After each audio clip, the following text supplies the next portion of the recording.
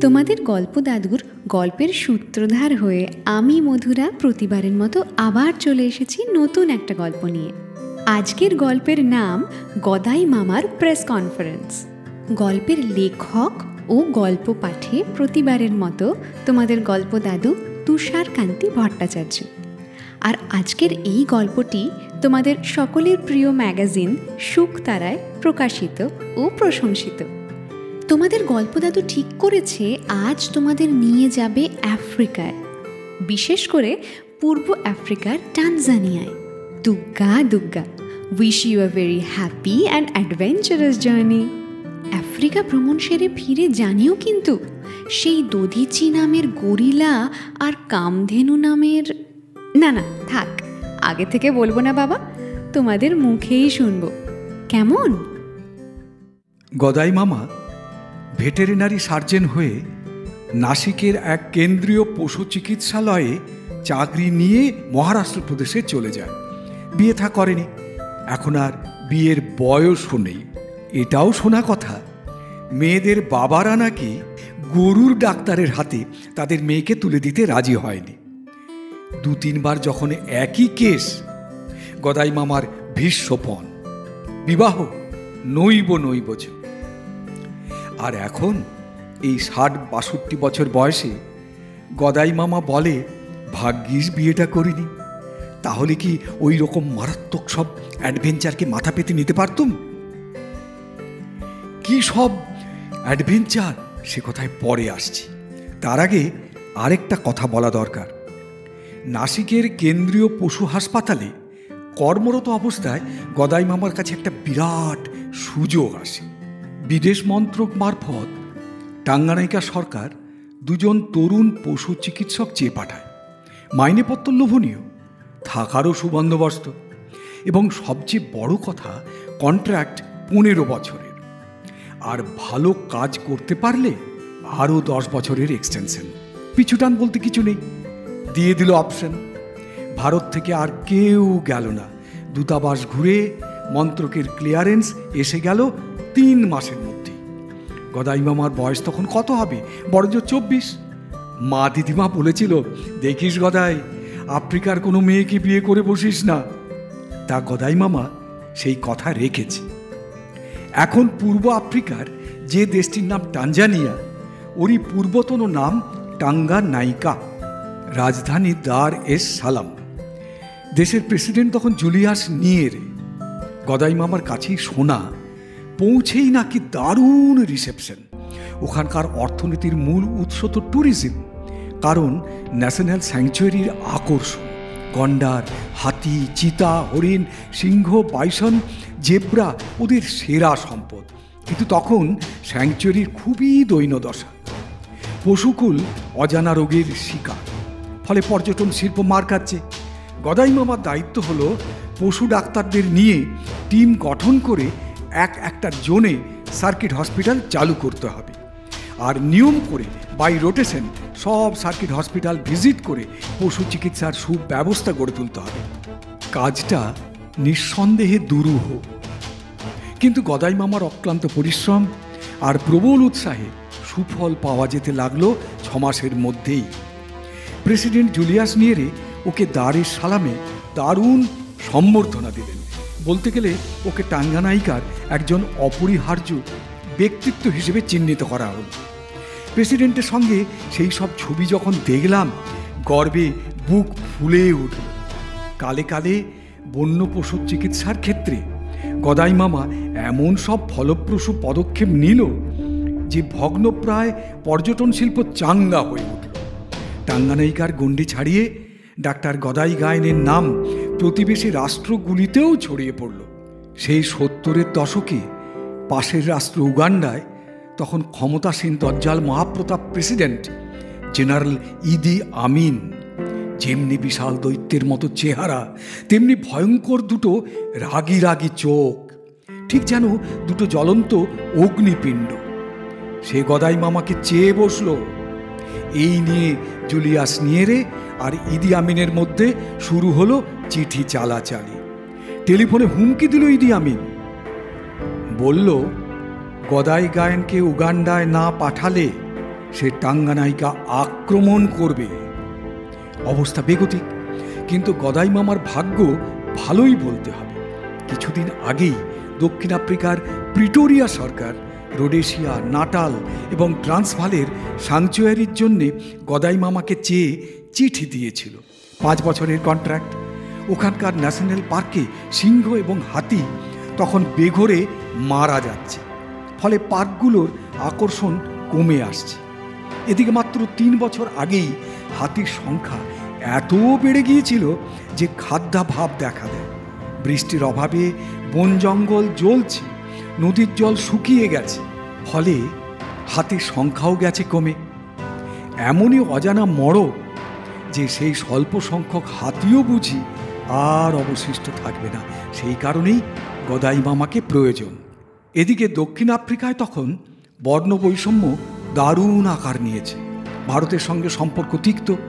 তাই একজন ভারতীয় নাগরিক গদাই গায়নকে সেখানে চুক্তিমতো নিয়োগ করলে আন্তর্জাতিক স্তরে সমালোচনার ঝড় উঠবে।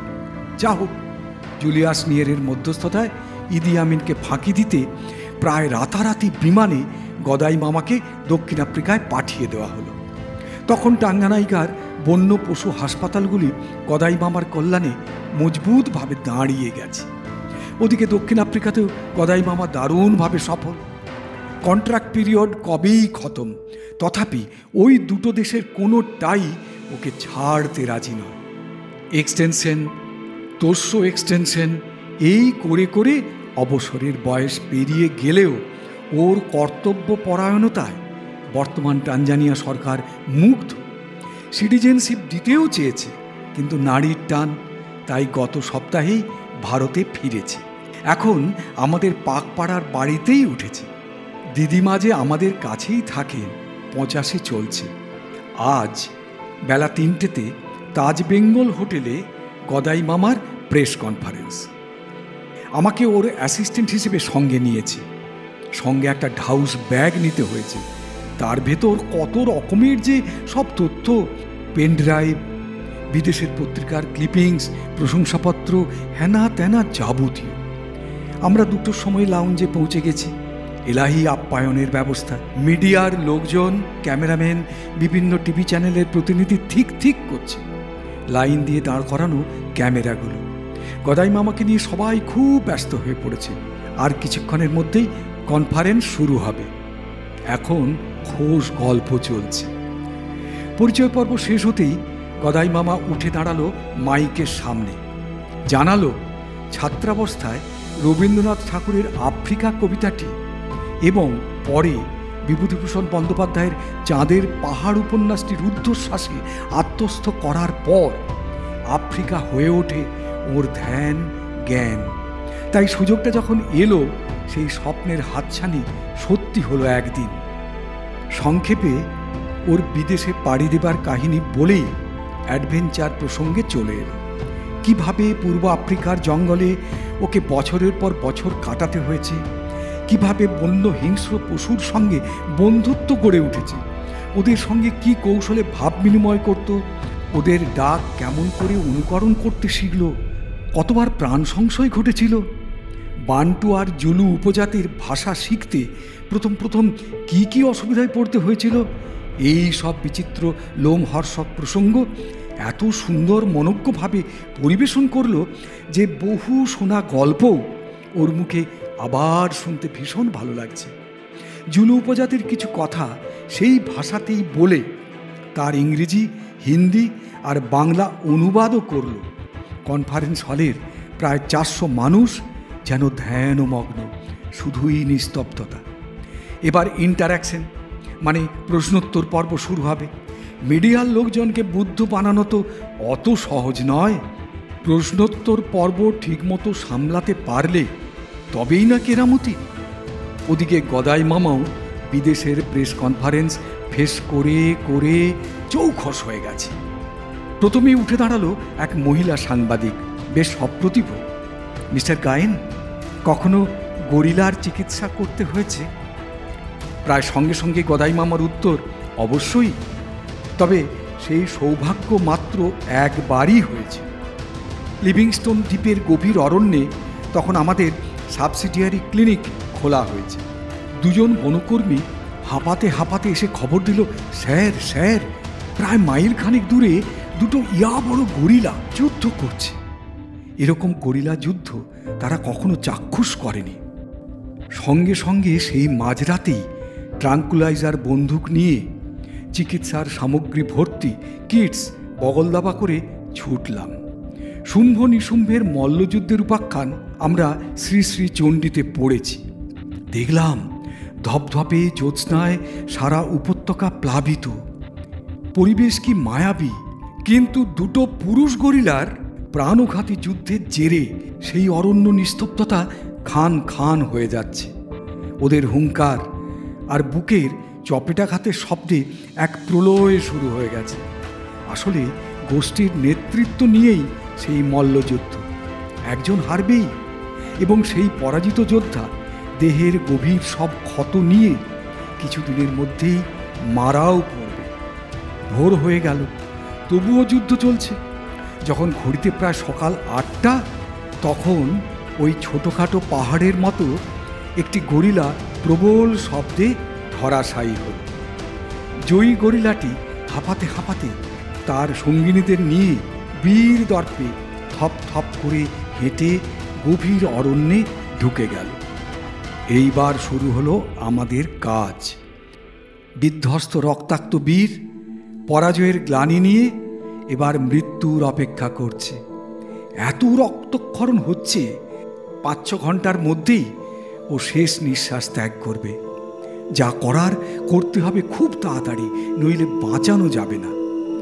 ঘুম পাড়ানি বন্দুকের গুলি দিয়ে ওকে অজ্ঞান করেই ঝাঁপিয়ে পড়লাম ওর আশু চিকিৎসায়। প্রথমে রক্তক্ষরণ বন্ধ করলাম। সারা দেহে প্রায় তেত্রিশটি স্টিচ এবং ইঞ্জেকশন ইত্যাদি যখন সারা হলো, তখন বেলা প্রায় এগারো। ড্রেসিং এবং মলম লাগানো যখন প্রায় শেষ হয়ে এসেছে, ও হঠাৎ চোখ খুলল। ঘুম পাড়ানি ওষুধের অ্যাকশন শেষ। সহকর্মীরা ভয়ে বিচিত্র শব্দ করতে করতে যে যেদিকে পারল ছুটে পালালো। আর আপনি উপস্থিত সাংবাদিকদের উদ্বিগ্ন কোরাস পালাতে পারলেন? না। ঈশ্বরকে স্মরণ করে হাঁটু গেড়ে বসে পড়লাম।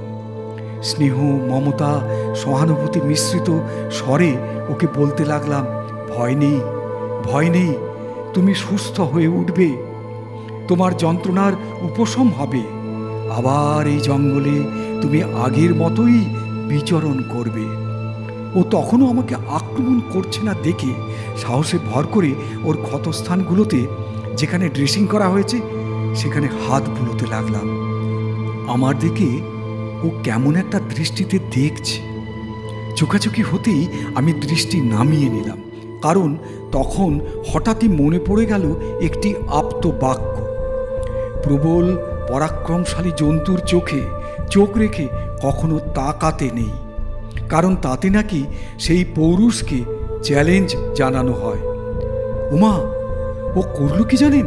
খপ করে বজ্র মুষ্টিতে আমার হাতটা ধরে ফেলল। হ্যাঁ বলেন কি? তারপর তারপর ছাড়াতে পারলেন? আমি ছাড়িয়ে নেবার চেষ্টাই করলাম না। উল্টে ওর ব্যথার স্থানে বাঁ হাত বুলিয়ে আদর করলাম। ক্ষতের স্টিচে ফুঁ দিলাম, চুম্বন করলাম, স্নেহের পরশে পরশে ভরিয়ে দিলাম ওকে। বোঝাতে চাইলাম, আমি তোমার দুঃখে দুঃখী। ইঞ্জেকশনের প্রভাবে ও দ্রুত সেরে উঠছে। একসময় উঠেও বসল। তখনও আমি জানি না, আমার এক সহকর্মী তার হ্যান্ডিক্যাম চালু করে এই অভাবনীয় দৃশ্য ক্যামেরা বন্দি করে চলেছে। এবার আমার সরে আসার পালা। সোজা হয়ে দাঁড়ালাম না। ও হাতটা ছেড়ে দিতেই বেশ খানিক দূর পর্যন্ত হামাগুড়ি দিয়ে দূরত্ব বাড়িয়ে উঠে দাঁড়ালাম। তখন ও এক বিচিত্র শব্দ করল।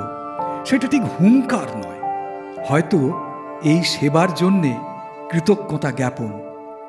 আমাদের টিম যখন প্যাক আপ করে ক্যাম্পের দিকে এগোবে, দেখি ও উঠে দাঁড়িয়েছে। সবাই আবেগে ওকে বাই বাই করলাম। সহকর্মীরা আনন্দে উচ্ছ্বাস প্রকাশ করল। ক্যাম্পে ফিরে সবাই স্নান করতে পাশের ঝর্ণাতে গেলাম। রাত্রি জাগরণে এবং খিদে সবাই ক্লান্ত। ফিরে কি দেখলাম জানেন? দেখি সেই গরিলা আমাদের বিশাল তাঁবুর বাইরে গ্যাটসে বসে। বিস্ময়ে সবাই থমকে দাঁড়ালাম। মুখে এক ধরনের শব্দ করছে, সুর যেন করুণ। পা পা এগিয়ে হাঁটু গেড়ে ফের ওর কাছে বসলাম। আর অবাক কাণ্ড, এবার ও ওর হাত দিয়ে আমাকেই আদর করল। সহকর্মীরা এই দৃশ্য দেখে উদ্বেল, হুড়োহুড়ি পড়ে গেল, ওকে কে কি খাওয়াবে? একটা বড় গামলা এনে ওকে প্রথমে ঝর্ণার ঠান্ডা জল দিলাম। রণক্লান্ত বীর প্রায় সব জলটাই নিঃশেষ করল। ওই অঞ্চলে বেশ বড় সাইজের কলা হয়। দুকাদি কলা ওর সামনে রাখা হলো। শুরু হলো মহাভোজ পর্ব। সবই ক্যামেরাবন্দি করা হলো। সময় থাকলে পেন ড্রাইভ থেকে সেই সব দৃশ্য দেখাবো। এবার একজন প্রবীণা সাংবাদিক বললেন, ওই গরিলাটির লেটেস্ট খবর জানতে খুব ইচ্ছে করছে। গদাই মামা জানালো, দারের সালাম ছাড়ার মানে দিল্লি ফেরার, দিন পনেরো আগের খবর, ও এখন বহাল তুবিওতে নিয়েরে ন্যাশনাল পার্কে আছে। ওর একটা নামকরণও করেছে। সেই নামে ডাকলেই ও এন্ডিয়ারিং টোনে সাড়াও দেয় থপথপ করে কাছেও আসে। সবাই সেই নামেই ডাকে, দধিচি। অবশ্য এই নামকরণের পেছনে একটা করুণ কাহিনী আছে। বছর ছয়েক আগে লেক টাঙ্গানাইকার অদূরে এক মর্মান্তিক ট্রেকার দুর্ঘটনা ঘটে। প্রায় পঞ্চাশটি হতদরিদ্র দশ বারো বছরের শিশু মারাত্মকভাবে জখম হয়। তক্ষুনি ওদের মধ্যে প্রায় কুড়ি জনকে রক্ত দেবার প্রয়োজন। নইলে বাঁচানো যাবে না। আর জানেনই তো, ওই জুলু, বান্টু উপজাতি অধ্যুষিত পূর্ব আফ্রিকার বেশিরভাগ মানুষই গরিব। অল্প সময়ের মধ্যে অত রক্ত সংগ্রহ করাও মুশকিল। তারপর গ্রুপের প্রশ্ন, দধিচি তখন পাশের ক্যাম্পেই রয়েছে। লরিতে করে দ্রুত ওকে নিয়ে আসতে বললাম। আর মজার ব্যাপার, ওর ব্লাড গ্রুপ ছিল ইউনিভার্সাল ডোনার পর্যায়ের। এটা জানা ছিল। অগ্রপশ্চাৎ কিছু চিন্তা না করেই ওর বিশাল শরীর থেকে ব্লাড নিয়ে পদ্ধতি মেনে মৃতপ্রায় শিশুদের দেহে চালান করা হলো। ঈশ্বরের অসীম কৃপা। সব শিশুগুলি বেঁচে গেল। ওরা আজ ষোলো আঠারো বছরের কিশোর। আর সেই দিনই ওর নাম রাখলাম দধিচি। আপনারা সবাই তো দধিচি মুনির আত্মত্যাগের কাহিনী জানেন। একটা কথা নিজের মুখে বললে আত্মপ্রচারের মতো শোনাবে, তবুও বলছি, সেই থেকে চিকিৎসা জগতে একটা দিগন্ত খুলে গেল। এখন ওখানে সব গরিলাদের চিহ্নিত করে ব্লাড গ্রুপ রেকর্ড করা হয়েছে। বিভিন্ন নাম দিয়ে দেহে সিম্বল এঁকে গ্রুপ আইডেন্টিটি ব্যাজ স্টিচ করা হয়েছে। ক্রাইসিস পিরিয়ডে গরিলাদের রক্ত বহু মানুষের প্রাণ বাঁচাচ্ছে ওখানে। কেউ বলল ওয়ান্ডারফুল আবার কেউ বলল হাউ অ্যামেজিং পরনে জিন্স আর কুর্তি খুবই গ্রেসফুল এক তরুণী সাংবাদিক উঠে দাঁড়ালেন। স্যার, আমি তখন জেএনইউর ছাত্রী। দিল্লি স্কুল অফ আফ্রিকা প্রতিষ্ঠানে যুক্ত। আমার এক বন্ধু আমাকে একটা পত্রিকা পড়তে দেয়। পত্রিকাটির নাম নেচার। তাতে একটা নিউজ ছিল এই রকম। Miraculous job by an Indian veterinary surgeon. সেই ডাক্তারের নামও দেওয়া ছিল ডাক্তার গদাইচন্দ্র গায়েন। ব্যাপারটা এতই ইন্টারেস্টিং ছিল যে পুরোটাই রুদ্ধশ্বাসে পড়েছি। হাতি মানে হস্তিনী নিয়ে। বুঝতেই পারছি, সেই মানুষটি এখন আমাদের মুখোমুখি। বাকিটুকু শেষ করার আগেই গদাই মামা ওর কথাগুলো ছোঁ মেরে তুলে নিল। ইয়েস সি এলিফেন্ট নিয়ে ওটা ছিল আমার এক দারুণ এক্সপেরিমেন্ট কোত্থেকে যে শুরু করি, কোত্থেকে যে শুরু করি। আচ্ছা ঠিক আছে। বলেই হাত নেড়ে আমাকে কাছে ডাকলো। কাছে আসতেই নির্দেশ দিল দধিচির ফাইল প্লে করতে। টিভির পর্দায় কিছু ভেসে ওঠার আগেই শোনা গেল পিলে চমকানো হুঙ্কার এবং প্রতি হুঙ্কার আর তারপরেই সেই শুম্ভ নিশুম্ভের দৈরথ, বাপ রে, আত্মা গুরুম হবার জোগাড়। একসময় দেখা গেল রক্তাক্ত গরিলা দধিচি পড়ে রয়েছে।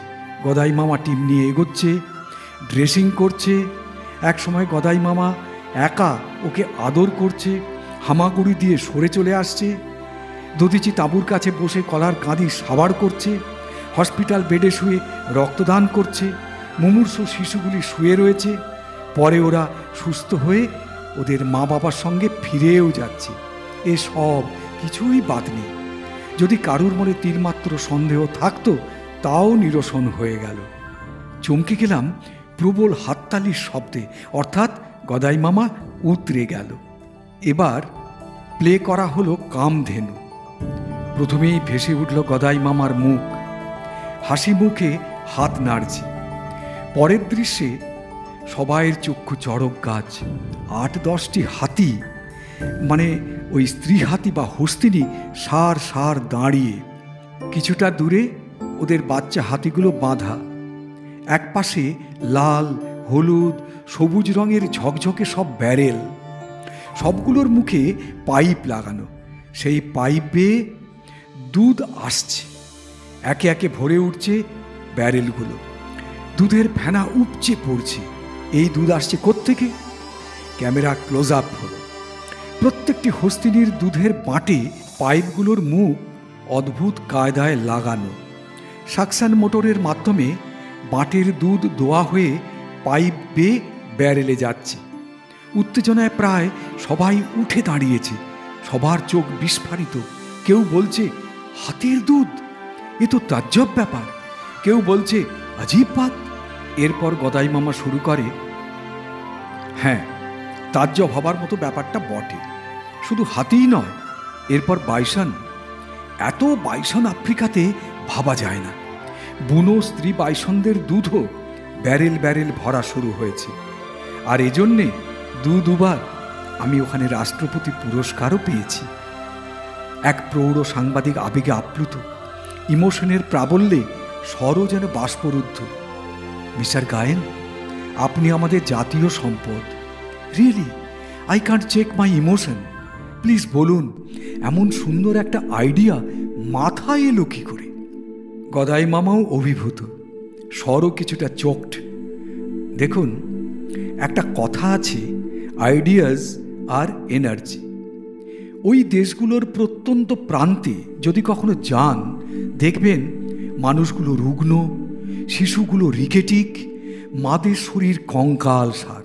প্রোটিন জাতীয় পুষ্টিকর খাদ্য যে ওদের তালিকাতে নেই, কারণ তা দুষ্প্রাপ্য। কেবল পশুর মাংস খেলেই তো হবে না। খুব কষ্ট হতো ওদের ওই জীর্ণ দশা দেখে। আমার একার চেষ্টায় দু একজনকে কিছু সাহায্য করলে তো মূল সমস্যাটার সমাধান হবে না। একটা এমন কিছু করা দরকার যাতে ওদের এই খাদ্য সমস্যার স্থায়ী সমাধান হয়। হস্তি অধ্যুষিত একটি ট্রানজিট ক্যাম্পে তখন কিছুদিন অবস্থান করছি। খবর এলো, একটি বুনো হাতি অসুস্থ হয়ে কাতরাচ্ছে। ছুটে গেলাম। দেখি সেই হাতিটিকে ঘিরে আরও দশ বারোটি স্ত্রী হাতি দাঁড়িয়ে। কি ফেলো ফিলিং? সহকর্মীরা মুখে এক ধরনের শব্দ করতেই ওরা কিছুটা দূরে সরে গেল। সাহসে ভর করে কাছে গেলাম। ওর দেহ পরীক্ষা করে দেখলাম ও আসন্ন প্রসবা। কয়েক ঘণ্টার মধ্যেই বাচ্চা হবে। ওষুধ ইঞ্জেকশন ওর শরীর অনুযায়ী ডোজ ঠিক করে দিয়ে দিলাম। ওর সঙ্গীরা দূরে দাঁড়িয়ে দেখছে। ওকে পরীক্ষা করে এও বুঝলাম বাচ্চাটি বেশ বড় সাইজের। হয়তো কুড়ি মাস পার হয়েও গেছে। হ্যাঁ বলে নেওয়া ভালো, হাতির গর্ভকাল উনিশ থেকে কুড়ি মাস। একসময় একটু সুস্থ বাচ্চা জন্মালো। আমরা সবাই ব্যস্ত হয়ে পরিচর্যা শুরু করলাম। ওদিকে ওর সঙ্গীরা নিশ্চিন্ত হয়ে চলেও গেল। শাবকটিকে খুব সাবধানে আমরা ট্রেকারে করে ক্যাম্পে আনলাম। ওর মাও পেছনে পেছনে এলো। মোটা চেন দিয়ে বহু চেষ্টায় ওর মায়ের পা বাঁধা হলো। শাবকটি বারবার দুধ খায়। কি অপূর্ব দৃশ্য! বাচ্চাটি সবার বড় প্রিয় হয়ে উঠল। এই সময়ই একটা ব্যাপার স্ট্রাইক করল। আচ্ছা একটা জার্সি গাই যদি দিনে দশ পনেরো কিলো দুধ দিতে পারে হাতি কেন পারবে না? এখানে একটা বিষয় বলা দরকার। হাতি প্রাকৃতিক নিয়মে ঠিক ততটাই দুধ উৎপন্ন করে যতটা ওর বাচ্চার প্রয়োজন। তাই এক্সপেরিমেন্ট শুরু করলাম কি করে ওর দুধ বাড়ানো যায়। নিয়মিত ডোজে হরমোন ইঞ্জেকশন প্রয়োগ করতে থাকলাম। একদিন দেখি বাচ্চাটির কস বেয়ে দুধ উপচে পড়ছে। ওর পেট ভরে গেলেও মায়ের বাটে তখনও প্রচুর দুধ। সাহস করে হাত দিলাম। কিচ্ছু বলল না বা সুঁড় দিয়ে তাড়াও করল না। হাতে একটা জলের শূন্য ক্যান ছিল। সেটা পেতে ওর বাঁটে চাপ দিলাম। দিতেই পিচকিরির গতিতে দুধ নির্গত হলো। দু মিনিটেই প্রায় তিন লিটারের ক্যান ভরেও গেল। ছুটে একটা বড় বালতি আনলাম। পাঁচ সাত মিনিটে ওটাও ভরে গেল। আমার সহকর্মীরা রুদ্ধশ্বাসে আমার কাণ্ড কারখানা দেখছিল। সেই তাজ্জব ব্যাপার লক্ষ্য করে সারা ক্যাম্পে কি উত্তেজনা, কি উদ্দীপনা।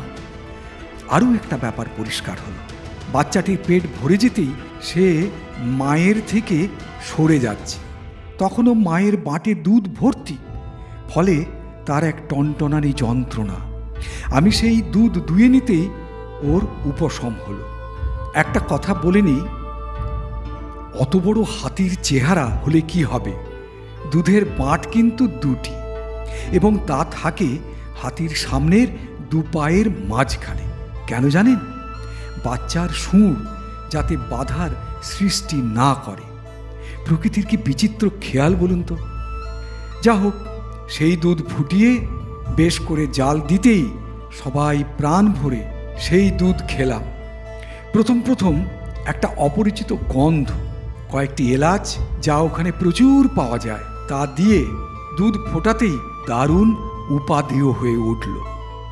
তারপর কেবলই সাফল্য। ছবিতেও দেখেছেন, এখন সারা টানজানিয়া দুধে স্নান করছে মনে হবে। কারণ এরপরই বাইসনকে বেছে নিয়ে একই প্রক্রিয়াতে দুগ্ধ উৎপাদন বাড়িয়ে দিয়েছে। রুগ্ন মানুষগুলোর মুখে হাসি ফোটাতে পেরে আমি নিজেকে ধন্য মনে করছি। এই যে আমাকে দেখছেন, আমার বয়স কত হতে পারে? কত? এই পঞ্চাশ বাহান্ন? কেউ কেউ বলতেই কদাই মামা শুধরে দিয়ে বলল, বাষট্টি পেরিয়ে তেষট্টিতে পড়েছি। এবং বয়সটা থমকে আছে ওই হাতির আর বাইসনের দুধের কল্যাণে। No blood sugar, no cholesterol. ইচ্ছে ছিল টু হর্ন রাইনোদের ওপরও এক্সপেরিমেন্টটা চালাবো, হয়ে আর ওঠেনি। আবেগমথিত কণ্ঠে সেই প্রৌঢ় সাংবাদিক বললেন, গন্ডারের দুধ নিয়ে এক্সপেরিমেন্টটা প্লিজ, ডাক্তার গায়েন, ভারতেই করুন। এই দরিদ্র দেশে গরিব গুর্বদের মুখে দুবেলা দুমুঠো অন্ন তুলে দিতে না পারি, দু চুমুক গন্ডারের দুধও যদি তুলে দেওয়া যায়, পুষ্টিও হবে, গায়ে গন্ডারের বলও হবে। জলদাপাড়া, কাজিরাঙার গন্ডার তাই দিয়ে শুরু করুন না। আমরা কেন্দ্রীয় সরকারকে একযোগে বলব যাতে খুব তাড়াতাড়ি ইনফ্রাস্ট্রাকচার রেডি হয়। এবার প্রায় সব সাংবাদিক সোল্লাসে দাবি তোলেন, কেন?